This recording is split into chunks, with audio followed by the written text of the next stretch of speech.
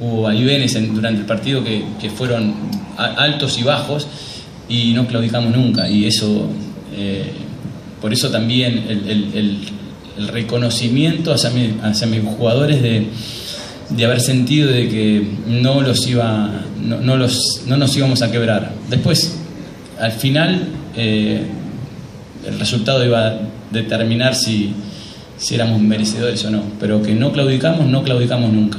Y eso tiene un mérito muy grande y se los, se los agradezco, se los debo a los jugadores.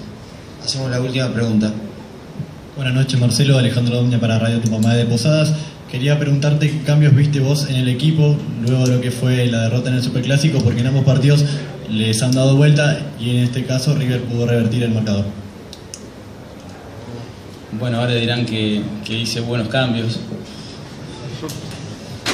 Nosotros perdemos siempre, de todas maneras los que los opinólogos ganan siempre. Entonces contra eso no puedo ir porque es así, el fútbol es así. Y como dije anteriormente, al principio de esta conferencia, estamos permanentemente expuestos en la toma de decisiones.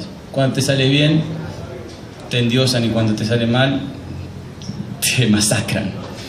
Y, bueno, son las reglas del juego, las entiendo así. Lo importante es no perder las convicciones. Sigo pensando exactamente lo mismo.